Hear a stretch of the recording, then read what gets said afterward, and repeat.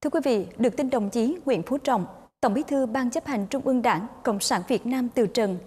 Liên tục những ngày vừa qua, lãnh đạo các nước gửi điện, thư chia buồn và bày tỏ tình cảm sâu sắc đối với Tổng bí thư Nguyễn Phú Trọng.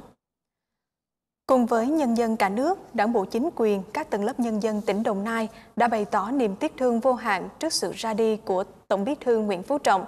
một nhà lãnh đạo lỗi lạc, tài, đức, tâm. Sáng nay, nhiều cơ quan đơn vị địa phương trong tỉnh Đồng Nai đã tổ chức treo cờ rủ và dành phút tưởng niệm Tổng bí thư Nguyễn Phú Trọng.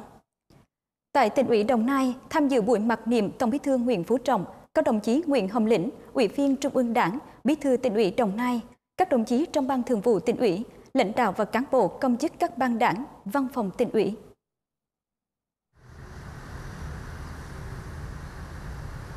Trong bài tưởng niệm Tổng bí thư Nguyễn Phú Trọng, Chánh văn phòng tỉnh ủy Đồng Nai Viên Hồng Tiến nhấn mạnh,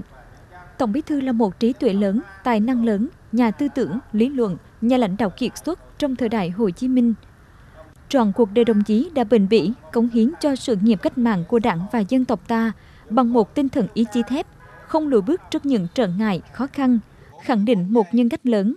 coi danh dự là điều thiêng liêng, cao quý nhất.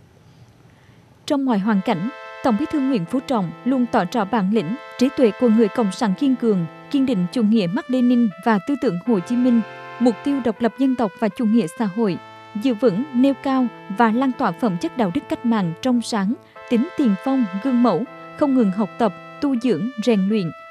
Sự ra đi của Tổng bí thư Nguyễn Phú Trọng là một mất mát to lớn, không thể bù đắp của toàn đảng, toàn quân, toàn dân ta,